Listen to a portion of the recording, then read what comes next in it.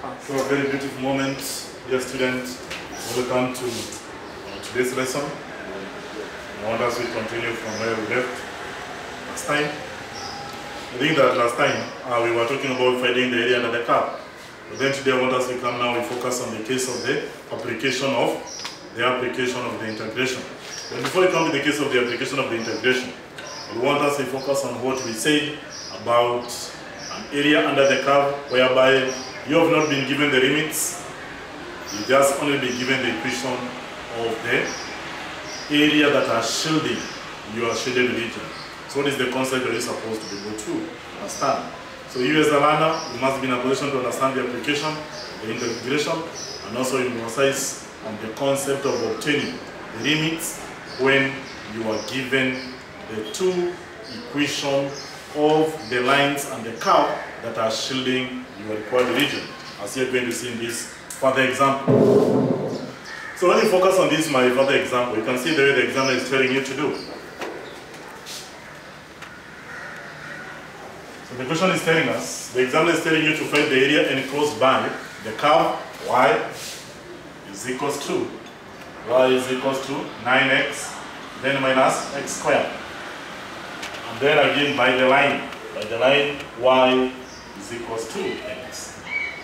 So that's what the examiner wants you to do. So he's telling you find the area enclosed by the curve y is equals to 9x squared and then the line y is equals to x. Then in the case of the solution, you've been given the required area. So this is where the region is looking like.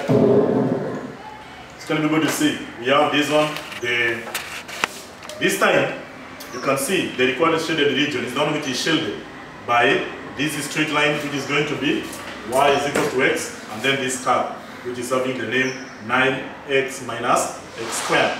So in this case you understand that the required a region, like you can see in my explanation there, this is what I say, that to find the limit of integration we must find the x coordinate at the point of the intersection.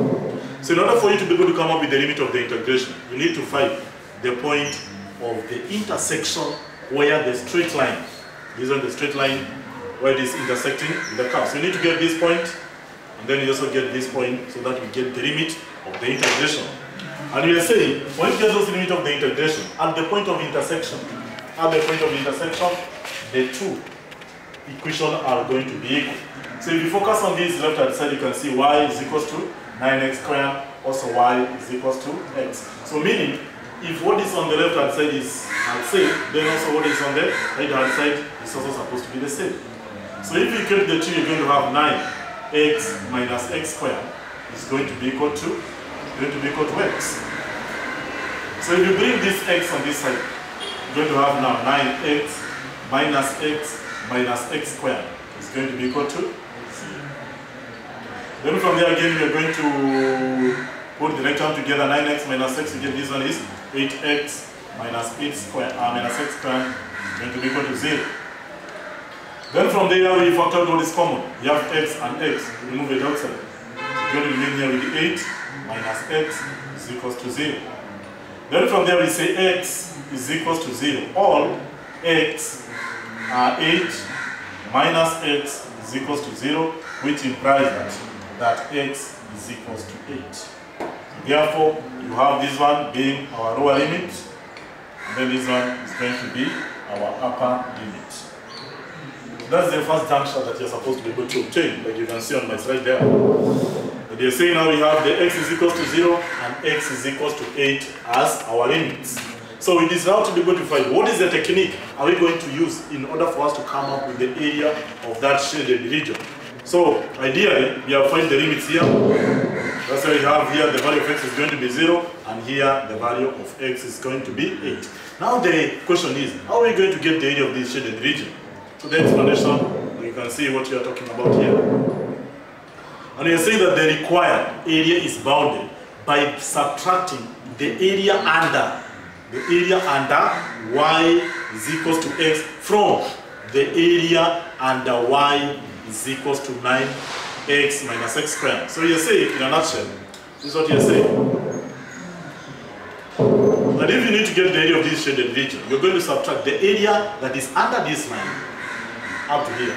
Then you come here, you subtract the area under the curve. So when you get the area under the curve minus the area under the straight line, what is going to remain is the one which is going to be the area of the quadrilateral. So in this case, you're going to separate ours into two. And then in this case, we are going to focus on getting the integration of the two of them and then substituting the limits which we are going to see on my working. Check on it. So that's what you're saying. You substitute the limit of the integration for both of them and then you get the subtraction of the two. So this one we integrate from. Mm -hmm. Limit is from 0 to 8. What's going to be our function is 9x minus what? Minus x squared. This one with respect to dx. Then this one is minus the integration again from 0 to 8. Then our area is going to be what? It is going to be x dx. So we start with the first portion. You know what you are talking about there. You say this one is integration, the content is the same. This one is going to be 9 x squared. x squared over 2, then minus. Add the power by 1, that's going to be x cubed. Uh -huh. Then over 3. Then you subtract the limit of integration from 0 to 8. Again with minus, this one is going to be x squared over 2. That's the concept there. Then again from 0 to 8. So the other part is always you substituting the limit. So the upper limit is going to be 8, 9, then 8 squared. Uh -huh. Over 2, then minus. That's going to be 8 cubed over 3. Then this one we subtract the 9 multiplied by 0 squared mm -hmm. over 2, then again minus 0 cubed, then over 3. So when you do this one, again, we come out then we say minus. And that's now here, this other part, which is going to be, this is 8 squared over 2, then minus 0. 0 squared over 2 again. You see what you're going to get. So from your calc, you get these two of them, you minus, you're getting your answer as 117. 117, 2 over 3. Then you subtract this one, which is giving us what? At 2. So at the end of the day, when you subtract the 2, you're getting your answer as 85. 1 over 3 square. That is the technique which was remaining. That was the technique which we are meaning when you have a question of that nature whereby you have not give, you have not been given the limits. It is easy to find the limit, and once you find the limit, you know how to do them by getting the subtraction of the two areas under the car, uh, straight line, and then under the curve for you to come up with the area of the shaded, of the shaded region. So from there, I'm now going to move from the case of the application of the integration.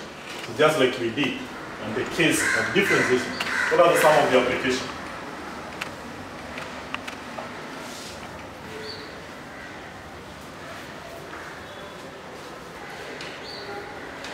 So this is we are focusing on the application of the application.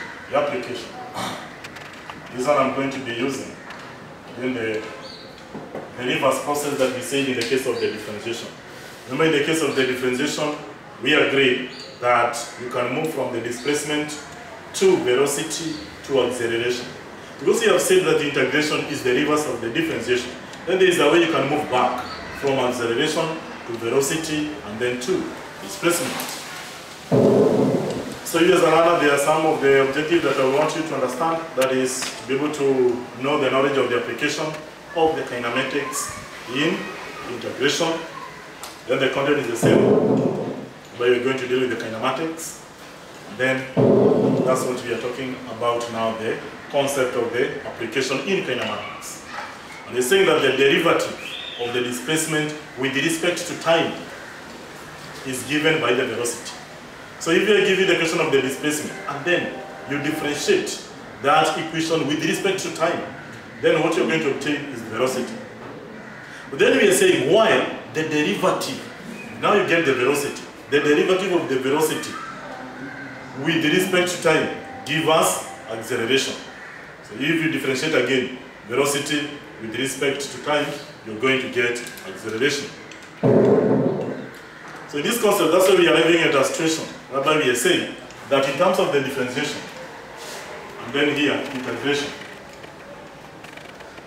we are having two concepts there. That you can move from where? You can move from the displacement, then you go down to, then you go down to velocity, and then you go down to acceleration. So same case we are saying you can now move back from acceleration, uh, that is in the terms of the integration, acceleration, you move up. This is the concept of what velocity again, then you move back to displacement. That's why we are saying when you're moving this side, we are saying there is that arrow of the reversing, just like you have the state of the matter. That is the shielding. So they are interconverting from one place to another.